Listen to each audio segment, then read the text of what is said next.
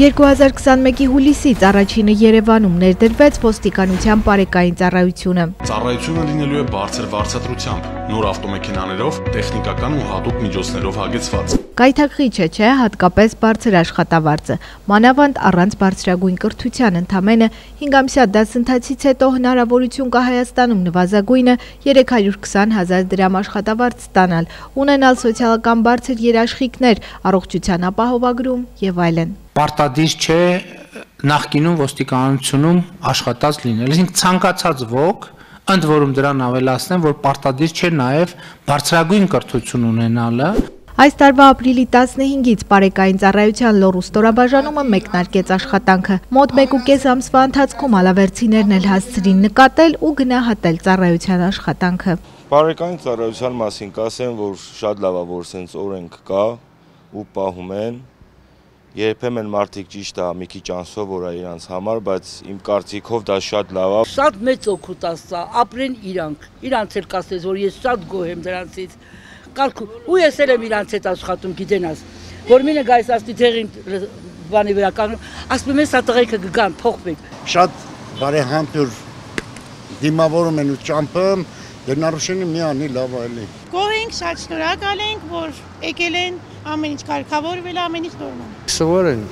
Մարդն ամեն ինչին էլ շուտ է սովոր։ Պետք էր, որ ժողովուրդը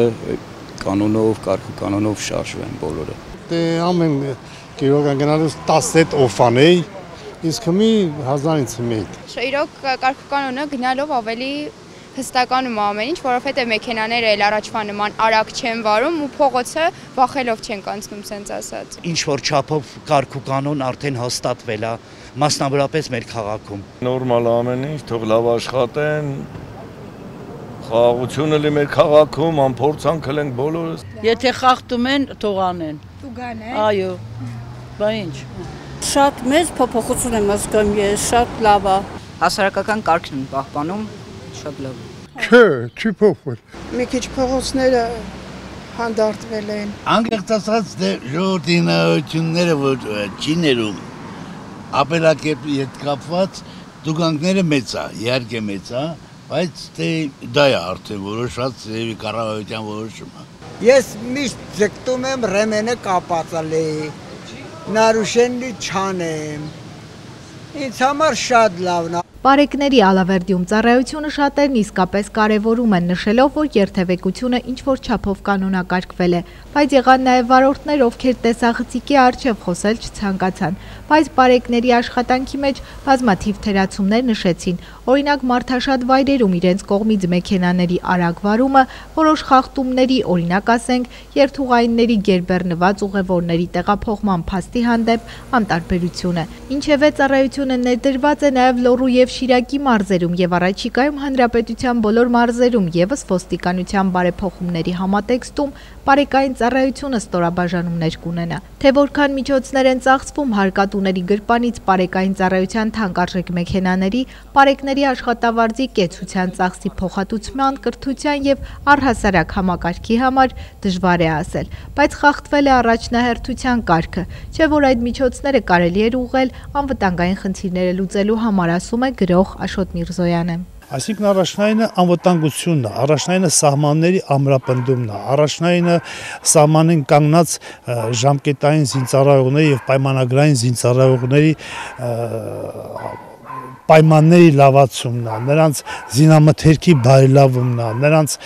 նոր զինատեսակներով ապահովումն է։ Երբ այսօր երկրի սահմաններն ասել է թե անվտանգությունը պահող մարտական հերթապահությունում ընդգրկվող շարքային պայմանագրայինների աշխատավարձը կազմում է ընդամենը 160-ից 210 հազար դրամ, արդարացված չէ ոստիկանության նման ծառայության համար հսկայական ռեսուրսների վատնումը, մանավանդ որ գրեթե նույն գործառույթներն իրականացնում էր ճանապարհային ոստիկանություն տնտեսությունը։ Ուղղակի գայից ավելի պահանջ պահանջեին, որ կատարվի, այս ֆունկցիաները կատարվի։ նույն ֆունկցիաների համար նոր ծառայությունը ստեղծվել է եւ բավականին գումարներով եւ բավականին մեծ ծախսերով։ Կարող է դա մեծ գումարը անվճար են տվել, որ դա ստեղծվի հենց այդ նպատակով, բայց եթե որպես վարկ են տվել, որ հենց այդ նպատակով մենք հետո այդ վարկը վերադարձնենք, այ արդեն այստեղ ցակումա մի հատ անտրամաբանություն Ծառայություն իրականացնող բարեկներին հաճախ հանդիպում են նաև Սարահարթի հրապարակում իրենց ժամ անցկացնող տարեցները։ Զրուցընկերներից շատերի հետ է հաճախ վիճում Ժորան Ալբանդյանը, ասում է արդարամիտ մարդ է ու դժվարանում է անարդարություն տեսնել, լռել։ Շարունակում է հիմա որտեղ է արդարությունը, երբ կենսաթոշակառուն պայմանագրային զինծառայողն ու մանկավարժը Պարեկի վարձատրության անգամ կեսը չեն վարձատրվում։ Այստեղ ճամփամը մանե կողմից քերին 400 ման է տալի, որ շապատ մի հազիվ են գալիս դե։ Իսկ զինվորին որ սահմանապահեմ 160։ Ձնի միջին։ Դա համի դուք գլխի չեք, որ չկա արդարություն։ Ես էլ սիրում եմ արդարություն, բայց վախում եմ դիգունքս բացալ։ Մեր խոսալուց էլ ենք վախում, գելը վրա տալուց էլ ենք վախում։ Զրուցընկերոջ հետ համակարծիք է Հայկ Մաթոսյանը, ասում է ընդդիմության հանրահավաքների ժամանակ տեսնում է ոստիկանական տարբեր ստորաբաժանումների, այդ թվում պարեկների գործողությունները ու գիտակցում, որ միայն բարձր աշխատավարձ վճարելով ոստիկանին, այս իշխանությունը կարող է ճնշել բողոքի ու անհնազանդության ալիքը։ Դրանք ինչ են անում։ Մենակ ասենք հանրահավաքի վաղտը մարդկանց են ջարդելով տանում, ես ինչ գիտեմ, նեղացնելով բանը ռազմակի բան չկա։ Հիմա եթե գնանք վայնի հրամատները բանը, ոչ մի բան չի համապատասխանում։ Բացի դրան, շատ քիչ վարձատրվում են, հետնել սպա ինչ սպառազինություն։ Չունենք ոչ մի տեղից։ Մենակ իրանք իրանց լավ պարգևավճար են տալի։ Մի խնդիրել են մատնանշում ծախսերի իրականացումն ուղիղ համեմատական պիտի լինի ստացված արդյունքի հետ։ Նժարին դնելով պետական բյուջեից տրամադրված միջոցները եւ ստացված արդյունքները, ակնհայտ է դառնում, որ այն անհամաչափ է, արդյունքը շատ չի տարբերվում, երբ հսկողությունն իրականացնում էր պետավտոտեսուչների միջոցով։ Վերջին 10 օրերին բարեկային խմբերը չափազանց նվազել են Ալավերդիում։ Հավանաբար նրանց այլ քաղաքներ են գործ ուղել, բայց քաղաքում կարծես ոչինչ չի փոխվել, ասում են մեր զրուցակիցները։ Մերի Կոլոլյան, Դավիթ Թամազյան, Լուրեր անկյուն գումարած 3 հերոստանգերություն։